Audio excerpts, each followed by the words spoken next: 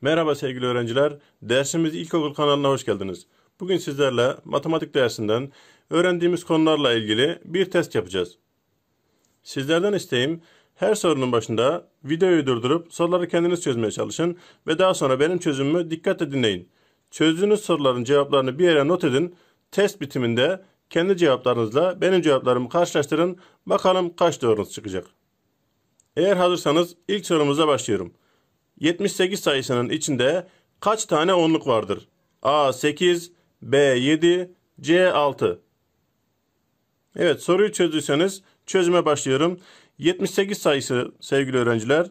Buraya yazdığımız zaman bu sayının sağ tarafındaki basamak birlik ve sol tarafındaki basamak da onluklardır sevgili öğrenciler. Yani burası birlik, burası onluk. Bize 78 sayısında kaç tane onluk vardır diye soruyor sevgili öğrenciler. Onluk kısmı soldaki kısımdır ve 7 tane onluk var demektir sevgili öğrenciler. Cevabımız B şıkkıdır. Sıradaki sorum aşağıdakilerden hangisi yanlıştır?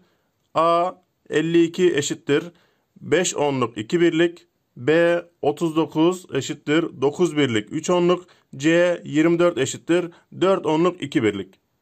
Evet sevgili öğrenciler, bizim bu iki basamaklı sayılarımızda sol taraftakiler onluk, sağ taraftakiler birlik demektir sevgili öğrenciler. Biz bu 52 sayısını çözümlerken sol taraftaki 5 rakamına onluk deriz ve sağ taraftaki 2 rakamına da birlik deriz sevgili öğrenciler. Yani bunu 5 onluk 2 birlik şeklinde çözümleriz. Evet sorumuzun başlangıcını iyi okumak lazım ve sondaki altı çizili kelimelere de dikkat etmek lazım sevgili öğrenciler. Burada hangisi yanlıştır diye soruyor. 52 5 onluk 2 birlikten oluşur. Yani bu doğrudur. Biz yanlışı arıyoruz. Evet 39 9 birlik 3 onluk. Bazen de birlikler önce onluklar sonra yazılabilir sevgili öğrenciler. Ancak buradaki sıralama değişmez. Yani sağ taraftakiler birliktir. Sol taraftakiler de onluktur sevgili öğrenciler. Yani 3 onluk 9 birlik. Buradaki yazılış sırası önemli değildir sevgili öğrenciler. Burada da 3 onluk 9 birlik var. Yani bu da doğru. Evet C şıkkında 24 buradaki onluktu. Buradaki de birlikti. Yani çözümüm 2 onluk 4 birlik olması lazım. Ancak burada 4 onluk 2 birlik denilmiş. 4 onluk 2 birlik 42 demektir sevgili öğrenciler. 24 değildir. O halde bu yanlış. Bize de hangisi yanlış diye soruyordu. Cevabım C şıkkıdır sevgili öğrenciler. Sıradaki sorum yandaki toplama işleminde verilmeyen sayı kaçtır? A 36, B 32, C 16. Evet sevgili öğrenciler burada bir toplama işlemi verilmiş. Toplama işleminde en üstteki sayımız nedir sevgili öğrenciler? Toplanan, alttaki o da toplanan ve en alttaki sayım ise toplamdır sevgili öğrenciler. Evet bunları bu şekilde yazdıktan sonra bize verilmeyen sayı nedir sevgili öğrenciler? Toplanandır. Bir toplama işleminde verilmeyen toplananı bulurken çıkarma işlemi yaparım sevgili öğrenciler. Toplamdan verilen toplananı çıkarırım. Yani 84'ten 52'yi çıkartırsam ben buradaki verilmeyen toplananı bulmuş olurum. Evet 4'ten 2 çıktı. 2, 8'den 5 çıkarsa 3 kalır sevgili öğrenciler. Evet bunu da buraya yazarsam Evet 2, 2 daha 4 çünkü toplama işlemi 5, 3 daha 8. Yani yaptığım işlem doğrudur sevgili öğrenciler. Evet cevabım B 32'dir. Sıradaki sorum 3, 6, 9, 12 soru işareti 18. Bu verilen sayı örüntüsünde soru işareti yerine hangi sayı gelmelidir? A 13, B 15, C 17. Evet sevgili öğrenciler sorumun çözümünde Burada en baştan kaçar artmış ya da kaçar azalmış ona bakmam gerekiyor örüntülerde. Evet 3'ten 6'ya kadar 3 tane artmıştır sevgili öğrenciler. 6'dan 9'a kadar yine 3 tane artmıştır. 9'dan 12'ye kadar 3 tane artmıştır. Demek ki benim bu örüntümün kuralı 3'er 3'er artacak demektir sevgili öğrenciler. Evet 12'den sonra 3 tane daha arttırırsam Evet 12'ye 3 eklersem 15 olur. Evet bu yazdığımı kontrol edelim. Daha sonra devamında 3 arttırırsam 18 olur mu? Evet 15'e 3 arttırırsam 18 olur. Demek ki buradaki yazdığımız doğruymuş sevgili öğrenciler. Evet cevabımız B 15. Sıradaki sorum aşağıdaki ifadelerden hangisi yanlıştır? A 1 yıl 4 mevsimdir. B 1 yıl 53 haftadır. C 1 ay 30 gündür. Evet sevgili öğrenciler sorumun çözümünde yine soru köküne dikkat ediyorum ve hangisi yanlıştır diye soruyor sevgili öğrenciler. Evet bu altı çizili kelimelere dikkat ediyorum. Biz burada yanlış olanı arıyoruz. Evet bir yıl dört mevsimdir diyor sevgili öğrenciler. Bu doğru mu? Evet bu doğru. Bir yıl dört mevsimden oluşur. Mevsimlerimiz sonbahar, kış, ilkbahar, yaz. Yani dört tanedir. Bu doğru. Biz yanlış olanı arıyoruz. Bir yıl 53 haftadır. Evet bir yıl kaç haftadır sevgili öğrenciler? Evet bir yıl 52 haftadan oluşur sevgili öğrenciler. Evet o yüzden bu cevabımız yanlıştır. Biz yine C şıkkına da bakalım. Bir ay 30 gündür diyor. Evet bir ay 30 gündür. Bu doğru sevgili öğrenciler. Yanlış olan şıkkım da B şıkkıdır sevgili öğrenciler. Sıradaki sorum iki basamaklı en büyük doğal sayı kaçtır? A 10, B 9, C 99. Evet, cevabınız geldiyse ben sorunun çözümüne geçiyorum. Evet iki basamaklı dediğine göre sevgili öğrenciler iki tane rakam olacak demektir. Evet burada iki tane var. Burada bir tane var. Burada iki tane var. Evet o halde B şıkkı zaten olamaz sevgili öğrenciler. Çünkü B şıkkı bir basamaklı. Evet iki basamaklı en büyük sayı dediğine göre biz burada sayı, sayımızı oluştururken en büyük rakamları vereceğiz sevgili öğrenciler. İki basamaklı dediği için iki tane çizgi çizdim. En büyük rakamım 9'dur sevgili öğrenciler. Evet en büyük sayı istediğine göre ikisine de 9 yazarım ve sayım 99 olur. Cevabım C şıkkıdır. Bir kümeste 18 tavuk, 6 horoz ve 12 tane de civciv vardır. Kümeste toplam kaç hayvan vardır? Evet sevgili öğrenciler soruyu çözdüyseniz ben çözüme geçiyorum. Evet bu kümeste 18 tavuk, 6 horoz ve 12 tane de civciv varmış. Bizden bunların toplamını istiyor. İsterseniz ikisini toplayıp daha sonra çıkan sonuçta diğerini de toplayabilirsiniz. Ya da toplamalarda üçlü toplamada yapabilirsiniz sevgili öğrenciler.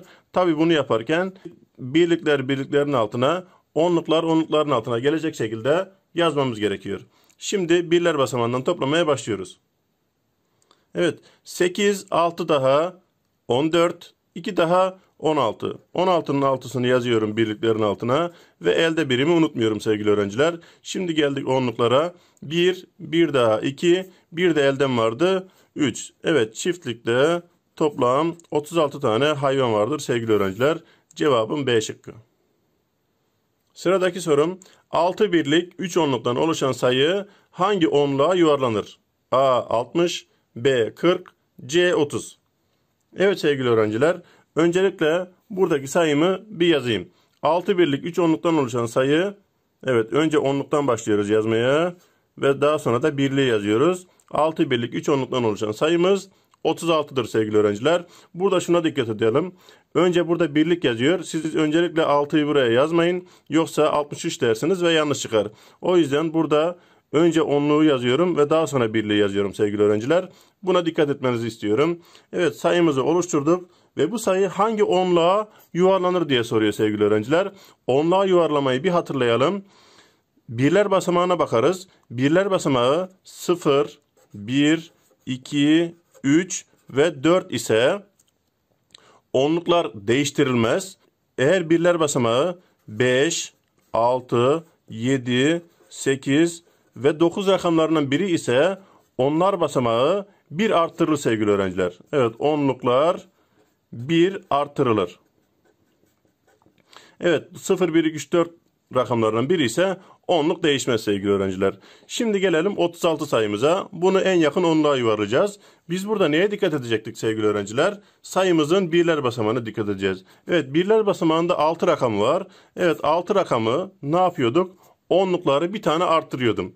Evet buradaki onluğumuz kaçtır? Evet onluğumuz 3'tü. Bunu bir arttırırsam 4 olur sevgili öğrenciler. Evet onluğa yuvarlama sorularında birlikler mutlaka 0 olur sevgili öğrenciler. Evet 36 en yakın 40'a yuvarlanır. Cevabım B şıkkıdır. Sıradaki sorum 2 onluk 8 birlik cevizim var. 9 birlik 1 onluk kadarını yedim. Kaç cevizim kaldı? A 5, B 7, C 9. Evet sevgili öğrenciler sorumun çözümüne geçiyorum. 2 onluk 8 birlik cevizi varmış. Yani ne kadar cevizi varmış? 28. Evet dikkat ediyoruz. Önce onluğu yazıyoruz sevgili öğrenciler. Daha sonra birliği. Bu kadar cevizi varmış ve ne kadarını yemiş? 9 birlik 1 onluk. Evet önce onlukları yazıyorum sevgili öğrenciler. Onluk 1'miş.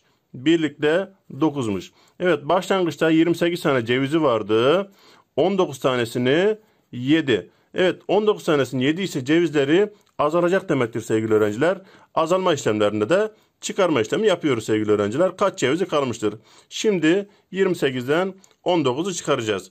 Çıkarma işlemine birliklerden başlıyoruz. 8'den 9 çıkmaz sevgili öğrenciler. 8'den 9 çıkmıyorsa ne yapacağım? 10'luğa gidiyorum. 10'lukta 2 tane var. 2 taneden bir tanesini alıyorum. 2'den birini alırsam 10'luklarda 1 kalır sevgili öğrenciler. Ve buradan bir tane 10'luk buraya getiriyorum. Buradan 10'luk getirmiştim. 8 de burada vardı. 10, 8 daha toplarsam 18 olur. Evet şimdi 18'den 9 çıkarıyorum. 18'den 9 çıkartırsam 9 kalır. Evet şimdi gelelim onluklara. Burada 1 kalmıştı. 1'den 1 çıkarsa 0. Evet geriye 9 tane ceviz kalır sevgili öğrenciler. Evet burada da cevabım C şıkkıdır. Evet son sorum. 400'üne fındığım var. Annem bir miktar fındık verince 5 deste fındığım oldu. Annem kaç tane fındık vermiştir? A 6, B 4, C 2. Evet sevgili öğrenciler cevabınızı verdiyseniz şimdi ben de sorun çözümüne başlıyorum. 4 düzine fındığım var diyor. Öncelikle biz düzineyi bir hatırlayalım. Bir düzine kaçtı sevgili öğrenciler? Evet bir düzine 12'dir sevgili öğrenciler. 4 düzine kaç olur o zaman sevgili öğrenciler? Evet 4 düzine de 12'yi 4 ile çarpmam gerekiyor sevgili öğrenciler. 4 düzinenin kaç olduğunu bulmam için. Evet isterseniz 4 tane 12'yi alt alta yazıp da bulabilirsiniz. Ama çarpma işlemi toplamanın kısa yoldan yapılışıdır. O yüzden çarpma işlemini tercih ediyorum sevgili öğrenciler. 4 kere 2 8, 4 kere 1 4. Evet 4 düzine 48 ediyormuş. Yani başlangıçta 48 tane fındığı varmış sevgili öğrenciler. Annesi bir miktar daha vermiş. Evet buraya yazalım. Başlangıçta 48 tane fındığı varmış. Annesi bir miktar daha vermiş ve toplam 5 deste fındığı olmuş sevgili öğrenciler. Evet burada 5 desteyi de bulalım. Bir deste kaçtı? Öncelikle onu bir belirleyelim. Evet bir deste 10'du sevgili öğrenciler. Evet 5 deste kaçtı o zaman? Onu 5 ile çarparsam 5 kere 0 0 5 kere 1 5. Evet 5 deste 50'dir. Yani başlangıçta 400'üne yani 48 tane fındığı vardı. Annesi de bir miktar verdi. Annesinin ne kadar verdiğini bilmediğim için nokta nokta koydum sevgili öğrenciler. Ve ikisini topluyorum.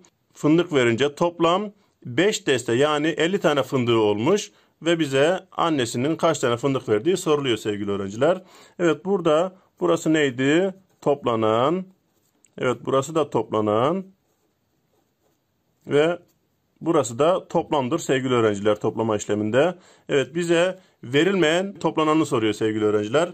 Verilmeyen toplananı bulurken ne yapıyordum? Çıkarma işlemi yapıyordum. Evet 50'den 48'i çıkartırsam buradaki annesinin verdiği fındık miktarını bulmuş olacağız sevgili öğrenciler. Evet sıfırdan 8 çıkmıyor. Komşudan bir tane alırız.